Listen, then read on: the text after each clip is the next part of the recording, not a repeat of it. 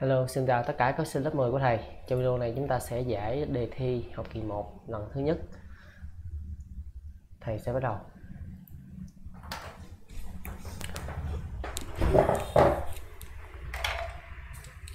Mấy cái câu đầu á thì thầy sẽ giải nhanh nha các em. Những cái câu nào quan trọng mà có dấu sao đó thầy mới giải chậm. Câu số 1 người ta hỏi các em tập xác định. Lưu ý tập xác định là ít nha tập xác định nghĩa là gì? Nghĩa là cái vùng cái vùng ít mà để cái hàm số này có giá trị. Thì cái này là trừ 3 tới 3 các em nhìn được không? Trừ 3 tới 3 nè là có B. Nhiều bạn lấy trừ 4 trừ 1 tới 4 á, thì cái tập này không phải là tập giá trị. Ờ, cái này cái tập này không phải tập xác định đâu. Tập này là tập giá trị các em. Câu số 2 tập xác định của hàm này là các em xài hai điều kiện một cái là 3 trừ x lớn hơn bằng 0 một cái là x cộng 1 lớn hơn bằng 0 giải ra, một cái bé hơn bằng 3 một cái lớn hơn bằng âm 1 cho nên đáp án là câu C. Câu số 3 tìm giá trị của tham số m biết f2 bằng 3 có nghĩa là thế x bằng 2 f bằng 3 thì là 3 bằng 2 nhân 2 trừ m. Cho nên m 1 m bằng 1 là b. Câu số 4 hàng để hãy tăng cái micro lên mấy em. Cảm giác là nó không có được rõ hết.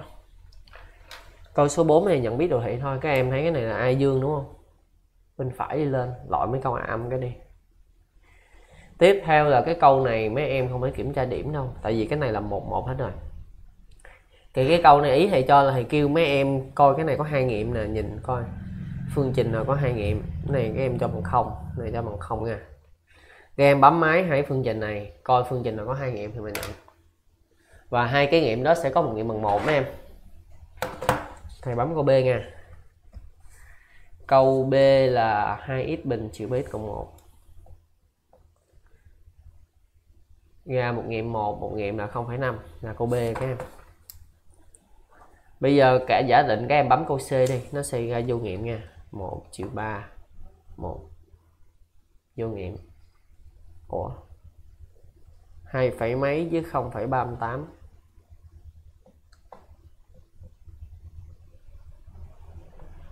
Hai phẩy mấy thì không thể nào rồi. Tại vì ngay đây là một thì ngay đây cũng phải tâm một. Hiểu không nè? Không thể nào nó hai phẩy mấy được mấy em. Cái này dù nó có nghiệm nó cũng bị vô lý nữa là câu B. Câu số 5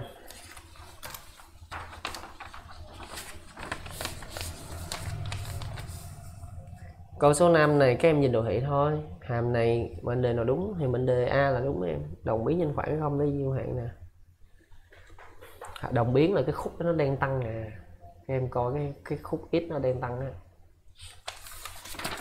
Câu số 6 tìm tất cả các giá trị x để fx lớn hơn hoặc bằng 0 thì cái này các em sẽ cho cái này lớn hơn bằng không. Xong mấy em giải ra. Thầy giải ra hai nghiệm nha. Một nghiệm là một một nghiệm là âm 5 như là âm 5 tới 1 xét dấu. Hệ số a âm cho nên này âm, dương, âm. Lấy lớn hơn bằng không là lấy từ âm 5 tới 1 nữa các em. Cho nên đáp án là câu C. Câu số 7 ok, một câu vận dụng cao đúng không? Câu này cũng không hẳn là vận dụng cao đó các em. Uhm, nhưng mà tại vì cái khung chương trình à, nó nó xếp câu này vận dụng cao cho này mới đánh hai sao đó. Nhưng mà câu này thật ra thì nghĩ vận dụng thấp thôi. Tìm tham số m để nó luôn âm với mọi số thực eg thì các em sẽ có công thức như thế này. A phải âm và delta phẩy phải luôn âm nha là luôn nhỏ hơn không phải nhỏ hơn không nữa. Mà cái này không có số 2 cho nên chúng ta không phải dùng delta phẩy được chúng ta dùng delta thường thôi a nhỏ hơn không là m trừ 4 nhỏ hơn không. Còn delta thì tính bằng máy tính nha. Delta có phải là b bình trừ 4 ac không? Thầy con 1000 x cộng 1 tất cả bình. B bình trừ 4 ac là trừ 4 nhân m trừ 4 xong rồi các em nhân cho 2 m trừ 1 các em con ngàn để mấy em dịch ra cho nó mau cái này thì dịch ra là 15 đúng không trừ uh, mấy em tự dịch nha 15 trừ 38 7 mà có dấu trừ hơn trước vậy là trừ của 15 trừ 38 m 7 m bên nhìn được không bé ăn không nhìn được không nè còn cái cách dịch cái này mấy em phải coi cái video của thầy. Còn thôi, nếu mà mấy em không biết dịch đó. Thì mấy em phải chuyển tay đi. Cái này giải ra là m phải nhẫn 4 và cái này mấy em chuyển dấu trừ qua đây. Đúng không? Chuyển dấu trừ qua là nó sẽ ra được là đơn không 7 m bình trừ 38 m cộng 15 lưng không? Rồi, cái này mấy em mới giải ra cái nữa. Cái này là hệ số A cùng dấu băng thức nằm ngoài. Mình tìm nghiệm. 7 trừ 38 15 ra 5 với 3 phần 7 các em nhìn được không? 5 với 3 phần 7 nghĩa là hoặc m nhỏ hơn 4 hoặc là m nằm ngoài 5 với 3 phần 7 nhỏ hơn 3 phần 7 lớn 5 xong mấy em mới giao hai tập hợp này lại.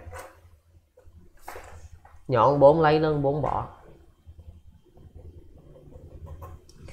Năm từ ờ, năm ngoài 3 phần 7 ờ, và 5 á, hoặc là 5 á, thì các em lấy, còn nằm trong bỏ.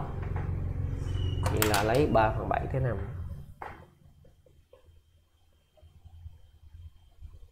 đây, nằm trong bỏ nè. Đúng chưa? Như vậy là lấy m nhỏ hơn 3 phần 7 nha. Sau đó mà em mới xét suy biến nha. Mình còn thêm một bước xét suy biến nữa. Xét suy biến. Suy biến là gì? Có nghĩa là cái hàm này nó không còn là hàm parabol nữa. Đúng là hàm này hay hàm parabol nè nó không còn là hàm parabol nữa. Thì cái chuyện gì nó sẽ xảy ra? Tức là các em phải cho cái hệ số a nó bằng không, tức là m bằng 4 thì suy ra cái fx của em á nó sẽ biến thành là 4 cộng 1 là 5 5x rồi này là 4 nhân 2 là 7 à, 8 trừ 1 là 7 nhỏ hơn 0 với mỗi x là sai. Cái này nó không thể nào nó nhỏ hơn 0 với mỗi x cho nên chúng ta không có nhận m 4 nha mấy em. Lưu ý nha. Nhưng có một vài bài nó sẽ nhận cái suy biến cho nên mấy em phải phải cẩn thận cái vụ suy biến này được chưa? Đề số 2 thầy sẽ cho một câu suy biến cho các em xem. Lưu ý cái này nha. Rồi, bây giờ lấy từ trừ 2014 cho tới 2014 mà lấy nhỏ hơn 7 bằng 7 nữa. Tức là lấy từ số 0 từ trừ 2024 cho tới số 0 là có bao nhiêu số? Lấy cuối trừ đầu cộng 1 là ra 2025 số. Rồi của B rồi, tiếp. Tới mấy câu dễ câu 8 giải phương trình này mấy em bình hai vế lên đi. Ra x trừ 1 bằng x trừ 3 tất cả bình. Là ra x bình trừ 6x cộng 9 mấy em giải cái này ra là x bình trừ 7x cộng 10 x bình trừ 7x cộng 10 5 với 2 xong mấy em sẽ loại nghiệm số 2 nha. Mấy em tự thử lại giùm thầy nha số 2 là nghiệm bị loại, nó không thổi yêu cầu bài toán đâu là câu B. Nhiều bạn nó giải phương trình ẩu lắm, giải ra nghiệm xong rồi mấy em không thử nghiệm lại, bị sai á. Câu 9 phương trình tham số của đường đi qua A. Và nhận cái này làm chỉ phương, vậy mấy em loại những cái nào không có chiều 32 đi? Loại câu C, câu D. Còn câu A, câu B là chỉ phương là chiều 32 đúng không? Nhưng nó không hề lấy điểm A, nó nó viết. Các em nhìn được không? Nó đâu có lấy cái điểm 2 chiều 1 đâu hay làm sao? Mấy đứa đó phải thế cái tọa độ điểm này vô hai cái đường thẳng này. Nếu như cái đường thẳng nào có hai cái t bằng nhau thì nó chính là đáp án. Thầy thế hai vô đây. Thế trừ một vô đây. Cái này ra t bằng âm 1 còn cái này ra t cũng bằng âm 1 luôn. Cho nên đáp án là con a. Đó câu này lừa nghe, con này lừa nghe anh em, con này lừa đó. Cẩn thận. Câu số 10 phương trình đường thẳng tổng quát của vuông góc. Vuông góc là đảo bộ đầu lại. Ví dụ nghe cái này là hai, ba cái này là trừ ba, hai. Vuông góc là đảo bộ đầu, song song thì giữ nguyên bộ đầu. Cộng c bằng 0 xong em thấy điểm m ở đây dùm thầy. Là xong. M là một thấy vô là trừ 3 cộng 4 cộng c bằng 0 cho nên c bằng âm 1 các em. Vậy là câu D. Câu 11 em thấy song song không? Song song thì giữ nguyên cái bộ đầu này. X trừ y? Cộng c bằng 0 nhưng cái điểm nó không cho sẵn. Nó không hề cho em cái điểm sẵn nha. Nó kêu là cái điểm này nè. Nó phải cắt trục tung với cái đường thẳng này. Mà cắt tung là x bằng 0 lưu ý nha. Cắt tung là x bằng 0 như vậy em cho x bằng 0 đi.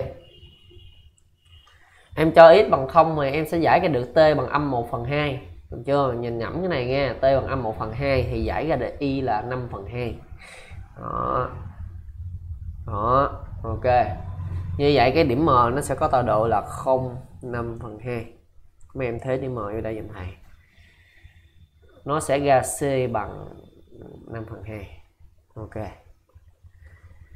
C bằng 5 phần 2 thì chúng ta sẽ có cái phương trình này là x trừ y trừ 5 phần 2 ủa, cộng 5 phần 2 bằng 0 xong em nhân hai vế cho hai nha. Là ra 2x trừ 2y cộng 5 bằng 0 2x trừ 2 cộng 5 bằng 0 là câu C. Câu số 12 à câu này bị lừa nhóc hết trơn nè. Tôi thề luôn, câu này tôi lừa nè. Em lấy tỷ lệ đi, m chia x m chia 1 bằng 1 chia m rồi, nó phải khác cái này. Nó phải khác cái m cộng 1 chia 2 thì nó mới song song. Nhớ điều kiện song song không? Rồi, bây giờ em em bắt cái cặp này nè. Em giải trước đi. Bắt cái cặp này giải trước đi. Cái này chuyển lên là m bình bằng 1 không? Thì giải ra m bằng 1 m bằng trừ 1 đó. Xong em mới thế vào đây. Với m bằng 1 thì cái này ờ, cái này nó sẽ khác khác 1 đúng không? Còn với m bằng trừ 1 thì cái này khác 0 ok chưa? Như vậy là m cần khác 1 chứ khác 0 vậy nếu m bằng m 1 thì phải loại rồi. Ok loại m bằng 1 nha. Cho nên bài này đáp án á, nó phải là câu A. Câu này lừa ác lừa ác. M bằng trừ 1 mới nhận. Đó nhiều bạn sai câu 12 nha. Em không em không tính tới cái trường hợp nó bị trùng sao? Cái điều kiện mà hai cái tỷ lệ này bằng nhau nó chỉ là cái điều kiện để nó trùng hoặc song song nha. Lưu ý chỗ này. Câu số 13 lấy tâm mà bán kính, đúng không? Này đảo lại. 1 trừ 3 g lấy căn. Là 4 câu 14 tiếp. Tiến vẽ cái đường tròn ra tiếp tiến là cái này nè. Từ tâm y vuông góc định tính chất tiếp tiến đúng không? Mà nó nói tiếp điểm là điểm A. A là trừ một, không. Tâm là nhiêu, lấy luôn. Cái này đem chia trừ 2 là ra 2 trừ 4 xong mấy em tính vector ia nha. Trừ 1 trừ 2 là trừ 3 không, trừ cho trừ 4 là 4 và cái vector ia này nó chính là cái vector pháp tuyến của đường thẳng D luôn em. Nhìn được không? Bản thân vector ia nó đang vuông góc với đường thẳng D nè cho nên nó là vector pháp tuyến của đường thẳng D luôn. 3 trừ 4 thì chỉ có thể đáp án là câu C thôi các em. Đâu còn đáp án khác đâu. 3 trừ 4 các em đặt dấu trừ ra nó có thể ra 3 uh, ờ, Ủa trừ 3 4 đặt dấu trừ ra cũng ra 3 trừ 4 thôi. Nó không có những cái đáp án trùng lợi về cái bộ đầu cho nên các em không có cần điểm C đâu câu 4 là C.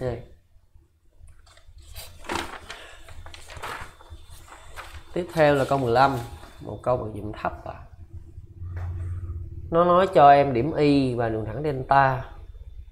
Tìm bán kính đường tròn tâm y cắt delta hay di cung bằng 8 dễ nha em có một cái đường tròn đây là tâm y. Cắt với một cái đường delta, dây cung này bằng 8 nè. Cái đoạn dây cung AB này là 8 nè. Rồi tức là cái đoạn này từ đây em kéo vuông góc xuống là m nha.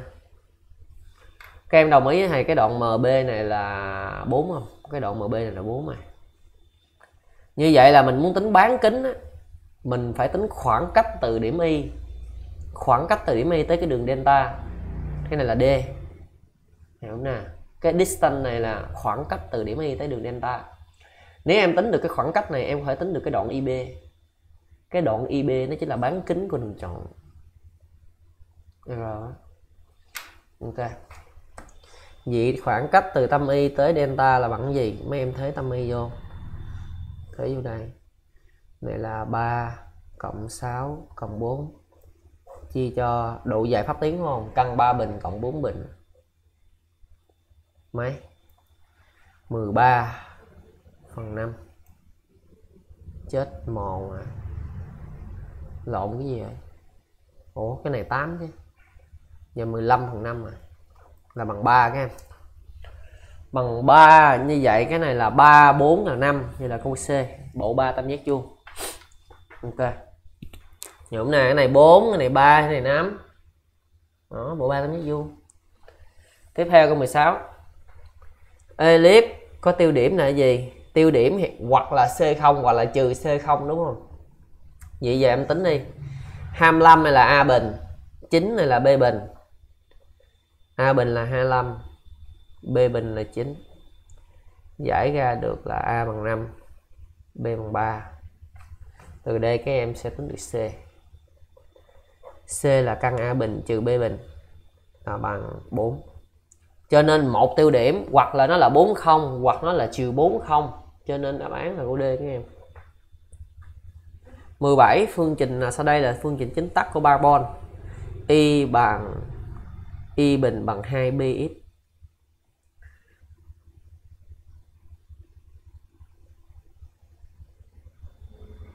y bình bằng 2bx yêu gia bình. Yêu gia bình, ok. Yêu gia bình. Rồi.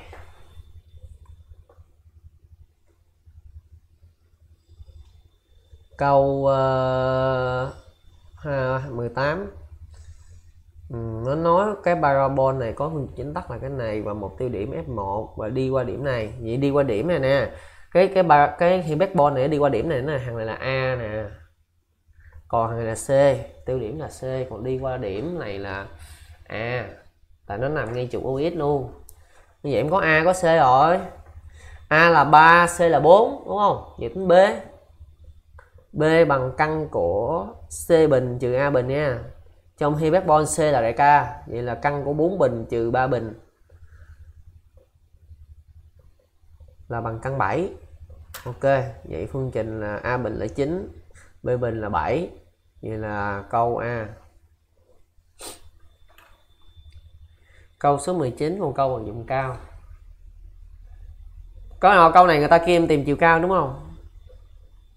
Làm sao tìm chiều cao đây? Đó là mấy em phải đi thế, em phải đi viết cái phương trình elip này. Em mới tìm được chiều cao. Em phải tìm ra tọa độ c. Nếu em tìm ra được tọa độ c, em có thể biết được cái chiều cao của nó. Ok chưa? Thì đó tọa độ c hiển nhiên em có hoành độ là là là 75 rồi. Như vậy giờ mình cần viết phương trình elip thôi. Phương trình elip này em có chiều cao OB là 60 cm đúng không? Thì cái này là B còn cái A1 A2 là 240 thì các A nó phải là cái đoạn này nè, đoạn là A nè. Như vậy cái đoạn A của em nó phải là 120 vậy phương trình elip của chúng ta là x bình chia 120 bình phương, cộng cho y bình chia 60 bình phương bằng 1 xong nhiệm vụ đơn giản thôi, em thế cái điểm x này vô. X này là bằng 75 đúng không? Em tìm y không là xong em thấy x0 bằng 75 cm vô em tìm y0 thì cái y0 nó chính là cái chiều cao của cái cái điểm C đó mấy em. Đúng nè chiều cao là cái tung độ C đó. Còn cái chiều ngang đó là hoành độ hoành độ nó cho em là 75 rồi. Thấy không?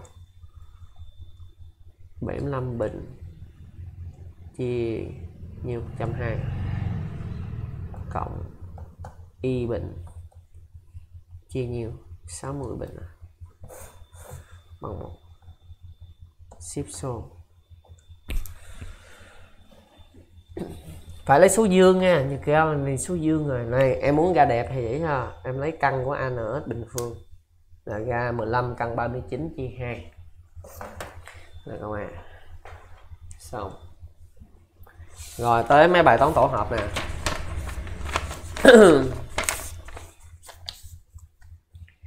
câu 20 số cách chọn một người. Này là 3 cộng 5 là 8 câu 21 gieo đồng xu hai lần, số phần tử không gian mẫu là 2 mũ 4 các em. Ủa? Xin lỗi 2 mũ 2 là 4 tại sao? Tại đồng xu có hai mặt mấy em. Đồng xu có hai mặt 2 mũ 2 còn nếu mà em gieo xúc sắc này là 6 mũ 2 nha.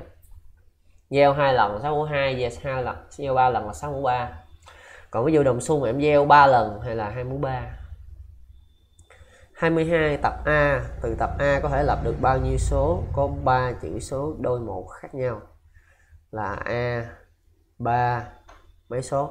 1 2 3 7 số rồi nha A37 khu B.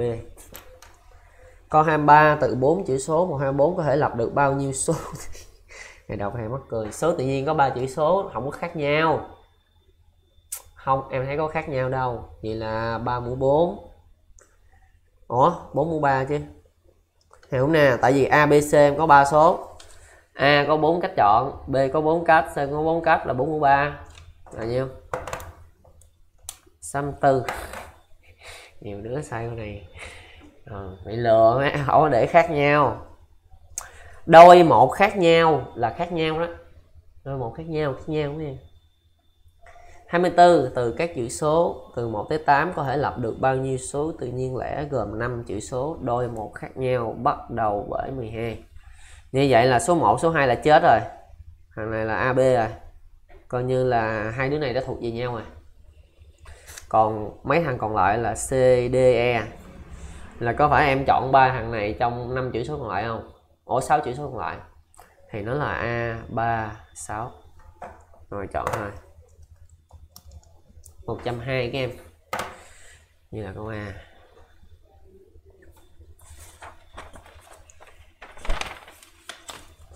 Tiếp theo, câu 25 từ các chữ số từ 1 tới 6 có thể lập được bao nhiêu số tự nhiên nhỏ hơn 100 vậy là có hai trường hợp thôi. Trường hợp một số này là số có một chữ số.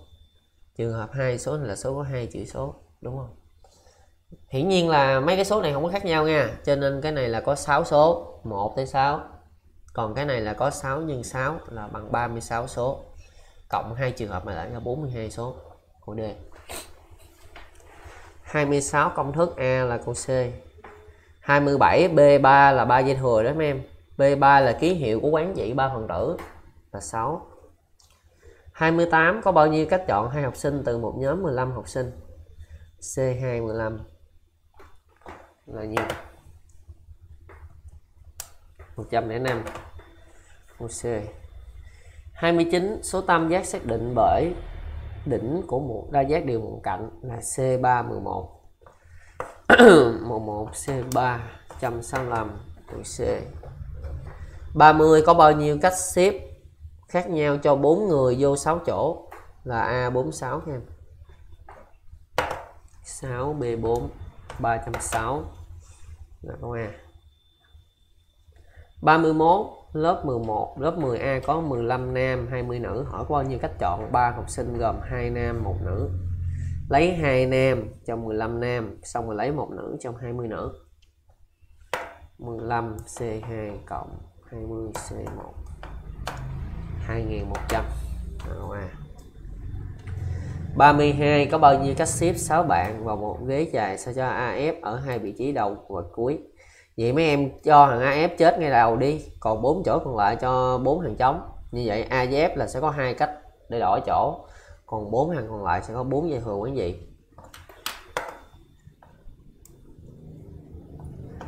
48 cách câu B rồi tới câu vật dụng cao nè. Câu 33 làm sao xếp nè? Hai dãy đối diện nhau. Mỗi dãy có 5 ghế.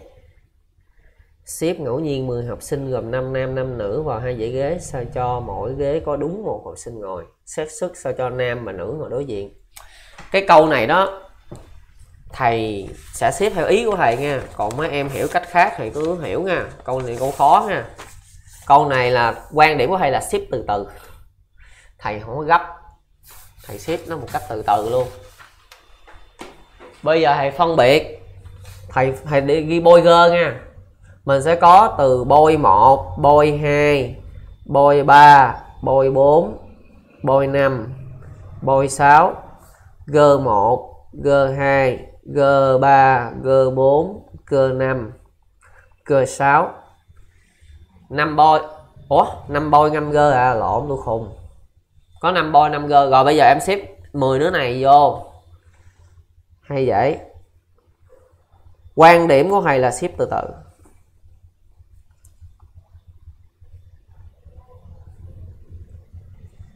Rồi có thầy xếp nha. Đầu tiên, thầy sẽ xếp boy trước. Thầy sẽ chọn một đứa boy để thầy xếp trước. Ok. Như vậy, em sẽ chọn một đứa boy trong năm đứa boy. Đúng chưa? Chọn một boy trong năm boy. Ok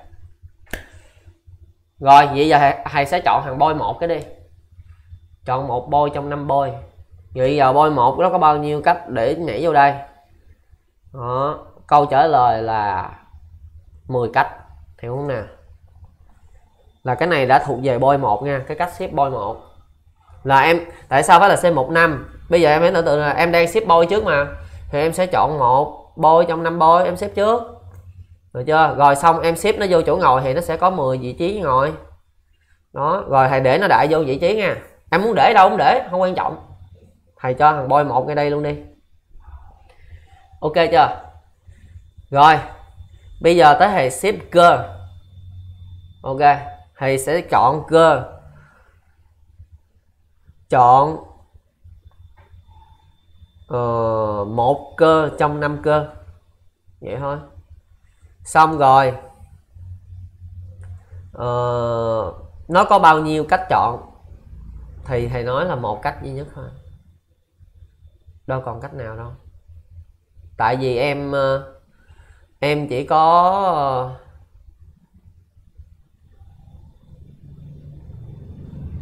đúng rồi chỉ có cách này thôi. Tại vì cái cái, cái đứa cơ cái tiếp theo nó phải ngồi kế đối diện thằng boy một này chứ mới được hay để đây cơ một đi. Nó chỉ có đúng một cái cách ngồi như đây thôi.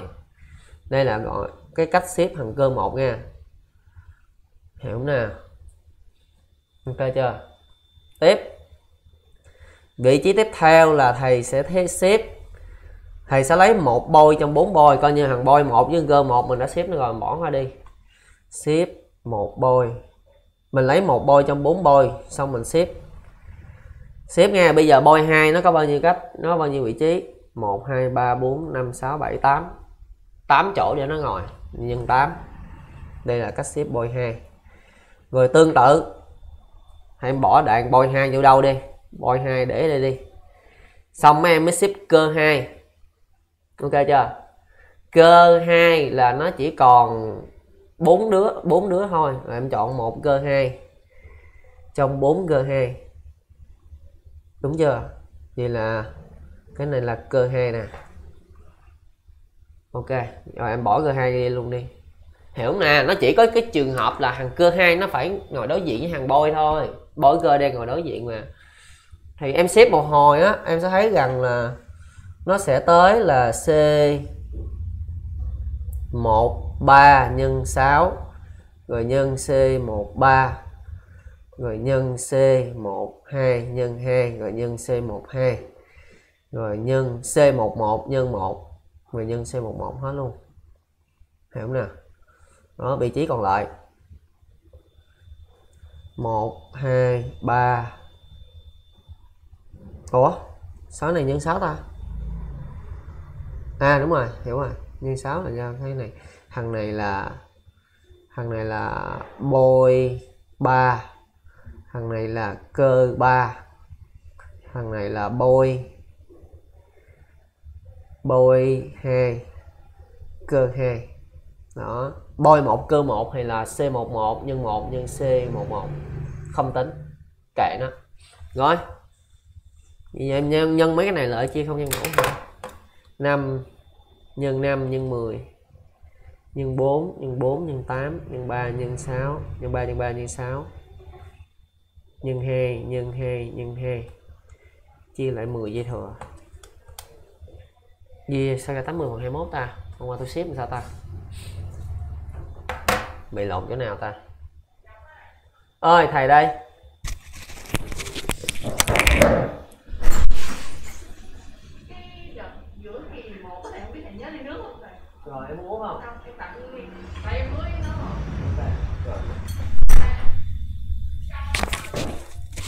Man, tôi xếp lộn ở đâu vậy man?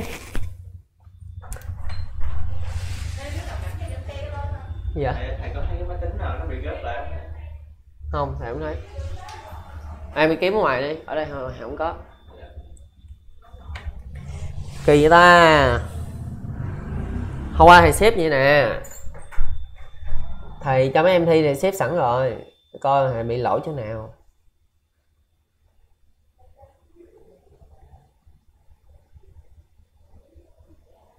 À hiểu rồi. Bỏ mấy cái đầu ship này ra. Tại vì em em em em lựa boy thì, em lựa boy thì không cần phải lựa trước. Em lựa boy thì em bóc, em lựa chỗ ngồi thôi. Hiểu rồi, bỏ mấy cái này ra. Vậy thôi nè. Đó. Bỏ mấy cái lựa boy ra. Vậy là 10 nhân 5 nhân 8 nhân 4 nhân 6 nhân 3 rồi nhân 4 nhân 2 nhân 2 nhân 1 chia cho 10 dây thừa 8 phần 63 ok. Là câu B. Như vậy á, trình bày lại. Trình bày lại, cho mấy em dễ hiểu nè. Thầy nói cái cách thầy xếp nha.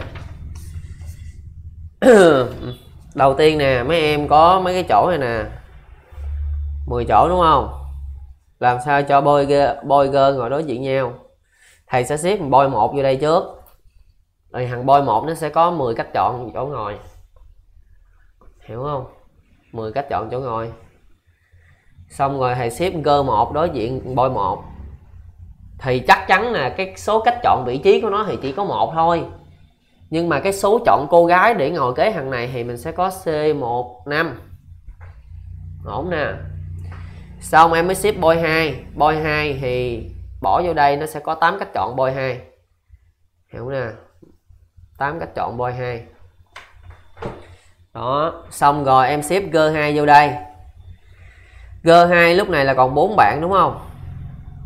Đó, còn 4 bạn thì cái này là C14 tiếp theo em ship boy 3 thì nó chỉ còn 6 ô thôi. Thì sẽ có 6 cách chọn boy 3 vô đâu. Đó ngẫu nhiên.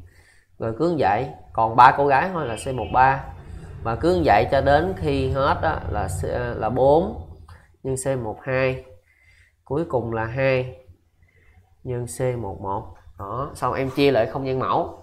Chia 10 dây thừa. Thì nó sẽ ra được đáp án. 8 phần 3 mới đúng ạ ok. Mấy cái câu này cái tư duy mà thầy xếp á thì thầy xin thú thật mấy em là xếp từ từ. Em cứ xếp từ từ từ từ. Xếp từng đứa phải phân biệt từng đứa luôn tại 10 đứa nó học sinh này là khác nhau hoàn toàn. Ồ, có nhiều bạn thì sẽ xếp cái cách khác thầy nữa. Nhiều trường hợp như đó mà thầy thấy thầy xếp cách này ra thì xếp thôi. Tùy bài toán nữa mấy em? Chút con bài xếp chỗ nữa. Ok. Câu này khó ha.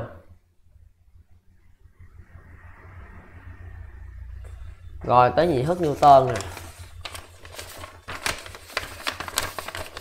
Câu 34 có bao nhiêu số hạng trong cái mũ 2023 khai triển ra 2024 k? cộng 1 mà. Tìm hệ số x bình trong cái x trừ 2 mũ 4 như vậy, cái x bình là cái đầu tiên, x, cái đầu tiên là mũ 4 nè. Cái thứ hai là mũ 3 cái thứ ba là mũ 2 vậy là lấy cái thứ ba. 1 4 6 4 1 cộng, trừ, cộng. Vậy là ngay số 6 phải không? Vậy cái này là 6 nhân x bình nhân cho 2 mũ 2 vậy là 24 câu đề. 36 hệ số x mũ 4 thì cũng tương tự. Này x mũ 5 x mũ 4 là lấy cái này rồi. Còn cái này là 1 5 10 10 5 1 đúng không ta? 1 5 10 10 5 1 ok lấy cái thứ hai đúng không? Là 5 nhân x 3x tất cả mũ 4 rồi nhân 1 mũ mấy kệ đó. Vậy là cái này là 5 nhân 3 mũ 4 mà. 405 là câu B. 37 này mũ 5 đúng không? Là cũng xài 1 5 10 10 5 1 luôn. Mà cái này đang cần mũ 3 phải không? Thì hãy ghi lại đầu tiên này là 3 mũ 5 nè xong rồi 3 mũ 4 rồi ít mũ 1 rồi tới 3 mũ 3 ít mũ 2 rồi 3 mũ 4 ít mũ 3 mình đang cởi mũ 3 đúng không? Vậy cái này là số mấy? 1 5 10 ý, cái này ít mũ 1 là cái gì vậy? Ờ đúng rồi. 1 5 10 10 vậy là cái này nghe 10 nha, nghe 10 nha. Cái này nghe chỗ 10 nha. Nhưng mà có cộng với trừ cộng trừ cộng trừ. Cái này nghe dấu trừ nha. Vậy là cái này là trừ 3 mũ 4 nhân x chia 2 tất cả mũ 3 đó. Còn bao nhiêu? Cái này là 8 rồi. Ở dưới là 8 ở trên là trừ mấy? 3 mũ 4 rồi 81 trừ 81 phần 8 x mũ 3 uhm, này chia được cho mấy trời? 81 phần 8 à? 81 phần 8 81 phần 8 rồi. What?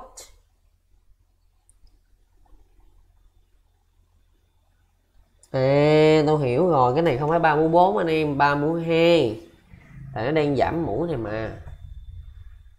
Ba mũ 2 3 mũ 5 3 mũ 4 3 mũ 3 3 mũ 2 3 mũ hai mũ ba.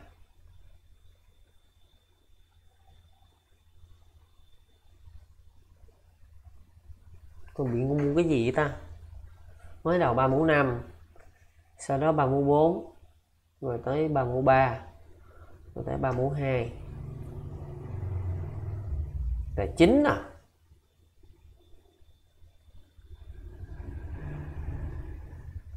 Gì là chín.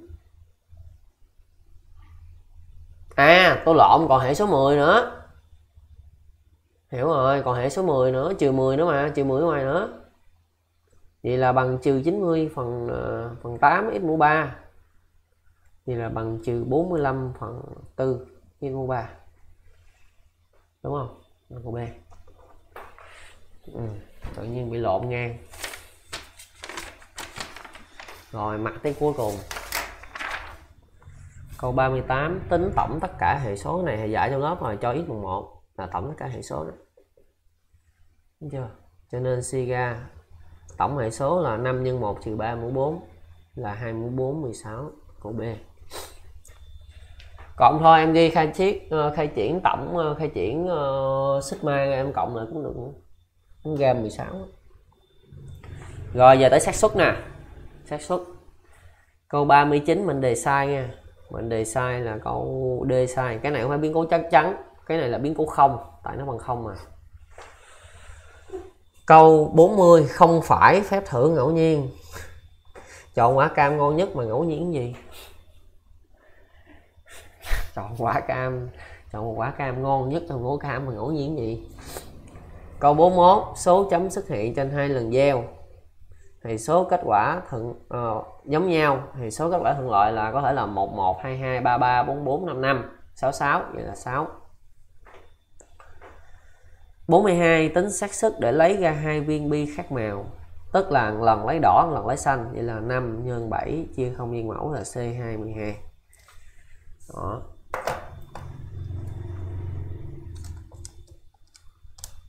ba mươi lăm sáu sáu. Rồi C. 43 xác suất để số được chọn có tổng chữ số và số chẵn. Nó kia em lấy số, một số tự nhiên ngẫu nhiên có hai chữ số khác nhau nha như vậy là mình tính không gian mẫu bằng cách mình tìm số có hai chữ số khác nhau cái đi. AB ok chưa? A phải khác không rồi nha như vậy A là chín cách chọn, B là chín cách, vậy không gian mẫu là 81 rồi bây giờ làm sao để tổng các chữ số là số chẵn được ta? A A mình có trường hợp một nè. A chẵn. Hiển nhiên là A khác không nha. A hiển nhiên phải khác không rồi. Nếu mà A chẵn á thì uh, nó có thể là hai bốn sáu tám vậy là A là bốn cách chọn. B nếu a chẳng là b phải chẳng thì tổng nó mới chẳng được mấy em thì b có ba cách chọn thôi do em phải bỏ a ra. Ủa? No vẫn bốn cách chọn tại vì em bỏ một số không vô lại. Vậy là câu ờ, này là mấy? Trường hợp 1 là 16 số. Trường hợp 2 là nếu mà a lẻ, thì a sẽ có 5 cách chọn 1 3 5 7 9 đúng không? B cũng phải lẻ luôn, hệ tổng hai số nó mới chẳng được. Lúc này bỏ a ra là còn 4 cách chọn. Như vậy ra được là 20 số. Hiểu không nè? Hai trường hợp cộng lại là ra 36 số. Vậy xác suất á là 36 phần 81 ok. 36 phần 81 là 4 phần 9 các em. Câu này là lúc đáp án của thầy cho thêm một bị sai mấy em, phải sửa lại rồi. Phải sửa lại 4 phần 9 rồi. Đáp án là 4 phần 9 xin lỗi mấy em. Thầy tính sai ra thầy tính của D câu số 44 tính xác suất để chọn bốn người là nam. Thì lấy bốn người nam trong năm người nam, chia lại bốn người trong 13 người à.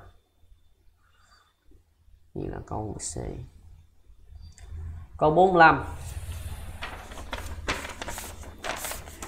gieo đồng xu cân đối và đồng chất hai lần. Gieo hai lần nha.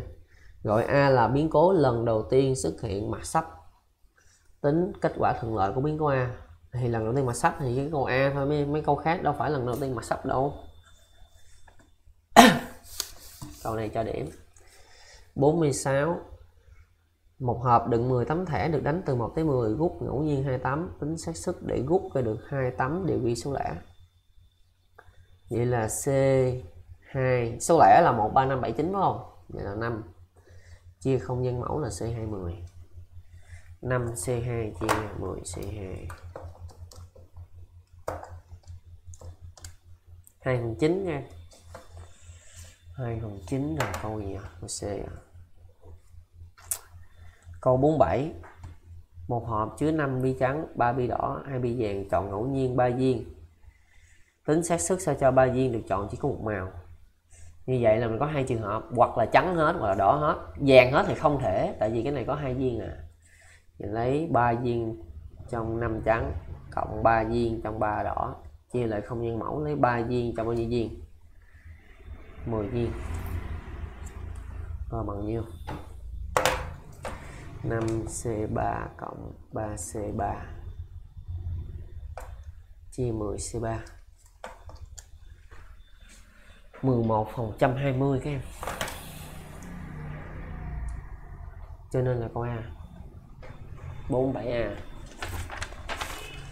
48 gieo hai con xúc sắc cân đối đồng chất xét sức để tổng số chấm 11 tổng số chấm 11 thì có thể là 5 6 hoặc là 6 năm thôi mấy em. Đâu còn trường hợp khác như vậy nó là 2 phần 36 câu C.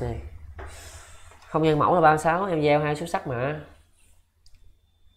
49 bốn bông hoa chọn ra có đủ ba màu. Chọn bốn bông mà phải đủ ba màu như vậy nó có ba trường hợp em.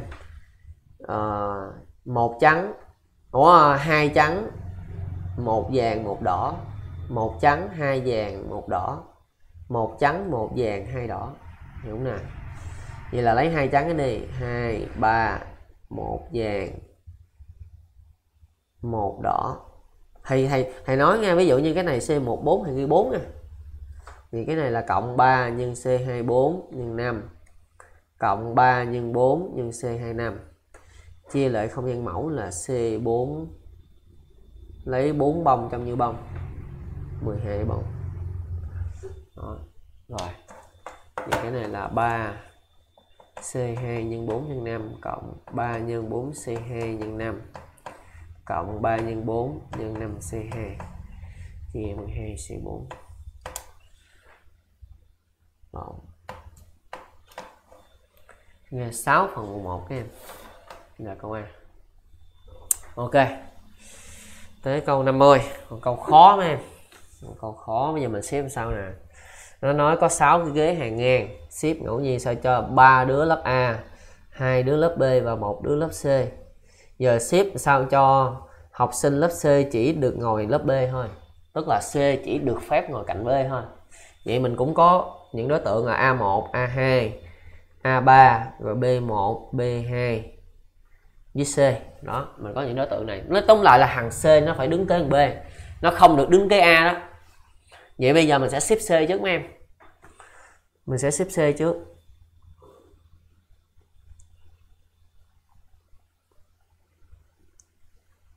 Rồi hàng C chia hai trường hợp nha, hàng C. Tại vì sao phải chia trường hợp? Do hàng C đứng ở hai đầu nó khác với hàng C đứng ở giữa. Nếu hàng C đứng ở giữa thì buộc lòng hai B phải đứng kế bên, các em hiểu không? Còn nếu mà hàng C ở hai đầu á, thì hàng B có thể một thằng B có thể đứng kế bên đó được rồi. Cho nên trường hợp 1 nè.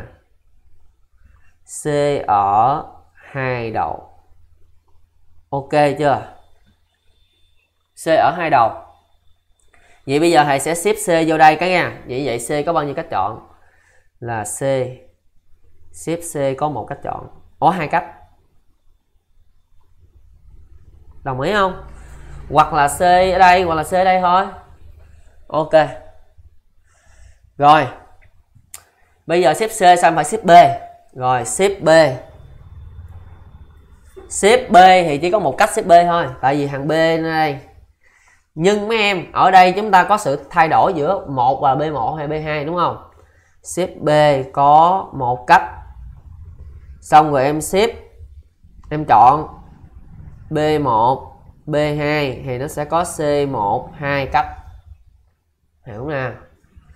Có nghĩa là em em ship B vô đây, hiện này có hai hàng B1 B2 thì em phải lấy C12 chọn một thằng trong hai thằng. Và thầy sẽ chọn B1 cái nha.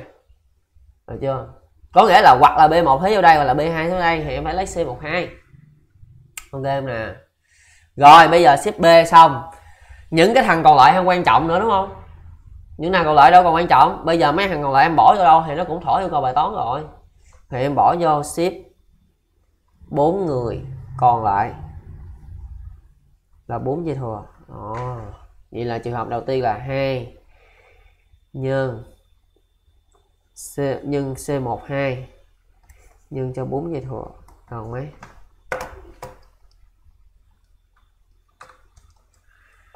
Nếu em không xếp dây thừa em xếp từ từ cũng được nữa ra 96 rồi, tới trường hợp 2 nè. C ở giữa. Rồi, dễ lại một cái. C ở giữa thì bây giờ C nó chỉ có thể là bốn cái vị trí này, đúng không? Suy ra em có bốn cách chọn. Bốn cách chọn C. Xong rồi bắt buộc B1 với B2 nó phải chón vô đây để nó đứng kế thằng C. Em xếp này đi B1 B2 đây nè, hiểu không? Như vậy là em sẽ có hai cách đổi vị trí B1 B2 cái nữa. Hiểu không nè? Xong, cuối cùng là em xếp ba hàng còn lại. Là ba dây thừa. Đó, là này là 8 nhân 6 48 đúng chưa? Vậy suy ra xác suất là bằng 48 cộng 96 chia cho không gian mẫu là 6 dây thừa. Coi bằng nhiêu? 48 cộng 96 chia 6 gì là 1 phần 5 nha. 1 phần 5 nha.